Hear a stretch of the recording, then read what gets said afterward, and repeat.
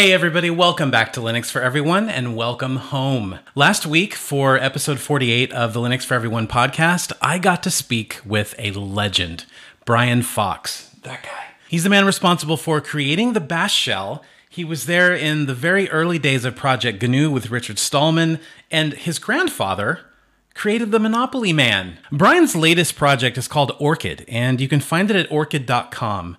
And a guy with this kind of pedigree, it's something that you might want to pay attention to. It's uh, it's difficult to describe quickly, but in essence, it is another tool in the fight to keep your internet private. And in the clip coming up, we have a really, really great discussion about the erosion of privacy and privacy versus convenience and what people can do to start clawing back some of that privacy. If you want to listen to the entire episode, I do highly recommend it. It's episode 48, and you can catch it on our dedicated YouTube channel just for Linux for Everyone podcast episodes.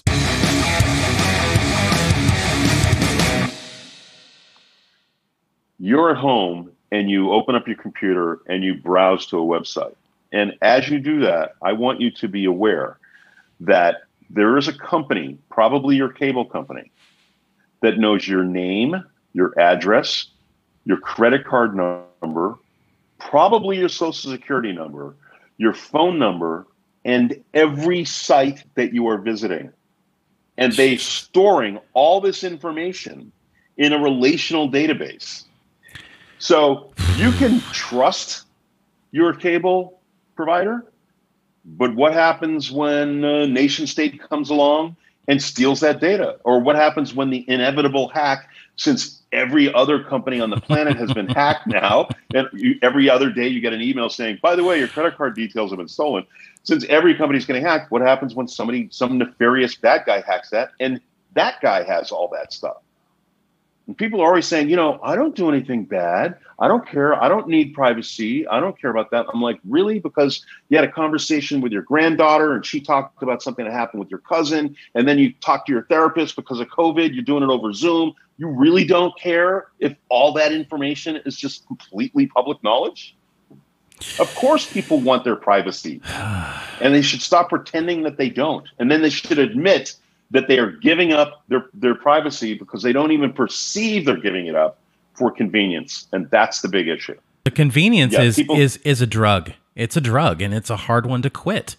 It really is. I have I have been talking about trying to ditch Google for the last two and a half years, and I can't do it. no, hard, I take that back. I take that back. I I have not resolved to completely do it. You know, I've switched to things like Proton yeah. Mail instead of Gmail, and I've taken right. certain steps, but uh, uh, I recently switched to a Huawei P40 Pro. It is shocking to see how many apps do not function without Google Play services. They don't function or they yeah. don't function properly. And right. the internet, the internet itself would cease functioning without Google services. It would not work. That's true. Yeah, this increased centralization is very convenient and extraordinarily dangerous. They're they're building into our entire life structure these single points of failure. If AWS goes down, everybody in the United States starts crying, and the reason they cry is because they can't see Netflix. Right? Like they don't even realize this means that they can't do banking transactions. They're like, Netflix isn't working. Facebook's down. Oh my god. Facebook and Instagram are down. Ah, uh, everybody goes to Twitter to complain that Facebook is down. It's hilarious.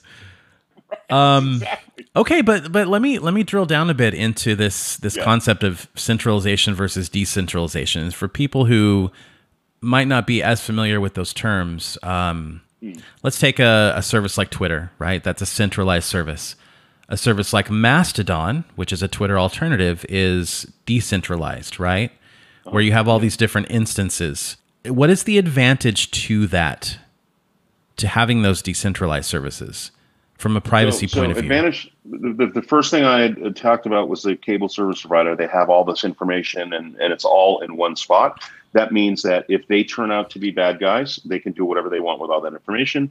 That means that if the nsa five years from now decides that um, th- they want to go get you then they will subpoena all those records because they're stored in a nice central location, easily uh, uh, attainable. They will subpoena all those records and they will look through every single record to see if they can find anything, the slightest thing that they can then leverage to yell at you about and make you feel terrible. If you looked up divorce attorneys, mm-hmm. they might say, well, you were looking up divorce attorneys. Were you getting ready to get divorced at this time? What's happening? And then, you know, you might say, no, I wasn't getting ready to get divorced. And they're like, we're going to share this information with your family and talk to them. you start thinking, this is insane. I haven't done anything at all. My friend Sally asked me if I knew a divorce attorney. There are at least three Black Mirror episodes about this. So. You didn't have to tell me that. I already know you watched those three episodes. yep. How do I know that the people running the various um, instances on Mastodon, for example, how do I know that I can trust them? How do I know could I can that I can trust the people that are running uh, fosstodon.org, where the Linux for Everyone account is?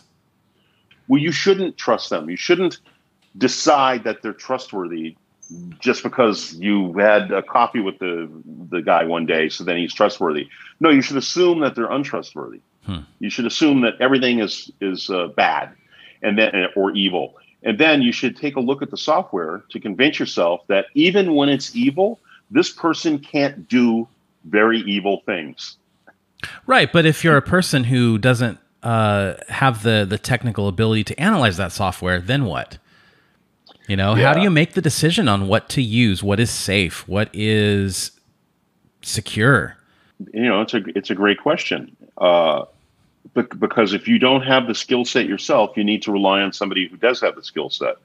Um, uh, hopefully, that is somebody that you already trust in in many other ways. Maybe it's a blood relative. Mm-hmm uh, you know something of that nature you actually you actually have trusted before and they've proven to be trustworthy and they're technical so they can tell you the answer you know. Or or it could be that you decide you're going to trust some large group of people that aren't affiliated in any way except that they have all agreed that this thing is trustworthy. Let me let me bring this all the way back around and make it personal.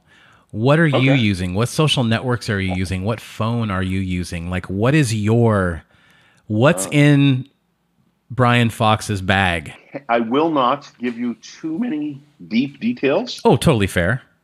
But I will. But I will tell you the kind of normal thing that happens. Uh, I I use a Mac computer and an Apple iPhone, and I also have an Android phone. It mm-hmm. doesn't matter to me.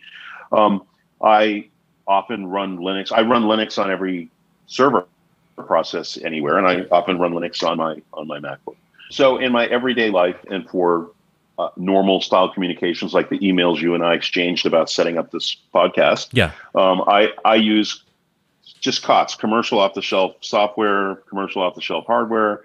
There are there are other places in my life where I care a lot about uh, OPSEC, operational security, and mm-hmm. in those places I have devices that are not connected to a network when I do need to do something that that networks them, I, I go through a firewalled connection, like uh, Orchid, for example. Okay, okay, you're definitely probably a disciple of Edward Snowden. I'm, not, I'm not exactly like like for example, I'm doing a podcast with you, and you can see the background behind me. Yes. But if you ever do a podcast with Edward Snowden, he's you know got he's in a black room with you know just blackness around it. right, right. No information. Right. You can't tell the size of the room or anything. Is no information at all. Privacy is is such a serious issue, and it's it's scary how much of it is being slowly taken away from us, and I feel like we don't quite realize how serious it's getting, and or Privacy, we yeah. don't care you know? Yeah, privacy awareness is a real is a real issue. Privacy awareness. And you're this this not caring thing it's because like i said it's the convenience factor. People are like well i'm not going to not use facebook. You know what i mean? They just that, that's not one of the possibilities. I can't not use email. You know that it's impossible right? And and i don't ask i'm not asking people to not use facebook or not use uh, their email or anything. I'm asking them to be privacy aware understand when you're giving up your privacy that that's what you're doing. Understand yeah. that. And and if you understand that well enough, then you'll be able to make an informed decision about whether you want to do that all the time or part of the time or just for this one convenient thing. Right? I mean, you you, you can use your credit card to buy something online. People know that and they do it all the time. You can also usually have an uh, a one-time use credit card yeah. generated for you. Yeah. Maybe that's a convenience that you might consider using, even if it takes you an extra five seconds. You know, I've lived in Europe for about three, four years, and yeah. uh, I just recently ditched my U.S. bank accounts and opened a Revolut account. And mm-hmm. they have this thing called Virtual Visa, and it is as simple as basically clicking a button and then using your fingerprint to authorize an authorization and then you can just freeze it or kill it and generate a new one and it's super right. easy so yeah. you are you are generate you are generating at least a secure transaction you're protecting uh, the the the sanctity of your credit card number from at least that vendor that you're talking to you yeah. know and it's like it's like fine. If you're going to take away my privacy incrementally, maybe I can put it back incrementally, right? in different ways. What, uh, in addition to using something like Orchid, what what do you think is the most privacy respecting browser? There are some browsers that um, protect you from the websites that you're browsing, but they do that by knowing the websites you're browsing. so, oh my god! so thanks for protecting my privacy because you now know everything, right? hmm. um, at least use a browser that that denies, um, by default, denies third-party cookies. For those of you who don't know what third-party cookies are, that's when um, you have gone to Facebook and Facebook has given you a cookie, and you're that means you're logged into Facebook and you have a cookie from Facebook, and then you go to oh the New York Times, and on the New York Times there's an ad for Facebook or something that says, you know, like this on Facebook. That little thing that showed up in that website was able to basically access this cookie in order to know who you were. Well, Brian, please, say, which means the New York Times knows who came to their website, knows which Facebook user came to their website. Yeah. So yeah. you can block a third party cookie. You can say, if I'm on the New York Times website, don't let any Facebook cookies leave my my browser realm and go there. And that will cause the little widget to say, if you log into Facebook, you can like this. I'll tell you something really disturbing. I was browsing Forbes on Safari, yeah. Safari on my MacBook Pro, which is no slouch in the hardware department. It's a very specked out machine. And it warned me that the website was making Safari unresponsive and that I should close it. And so I hmm. dug into that a little more and I found that there are between 60 and 79 third party trackers on yeah. Forbes.com. And that's not an unusual yeah. number for a lot of mainstream websites. And it's downright uh, scary and disgusting. People don't people don't think about it in the way they think about their physical world. Just imagine, just imagine you're a 27 year old woman and you go to the mall and you you walk into Lane Bryant to buy something, and then you come out and you go over to the uh, you, the uh, ice cream store to buy an ice cream, and then this guy, and then you're walking away, right? And this guy walks up to you and he says, "Hey, I saw you went into Lane Bryant, you know, and I saw you you got an ice cream over there. You, you want to go out to dinner with me?" and, and people people just get, you know, they're like, oh, that's a nightmare. This is horrifying. That guy should go to jail. And I'm like, what do you think is happening to you every time you browse the website?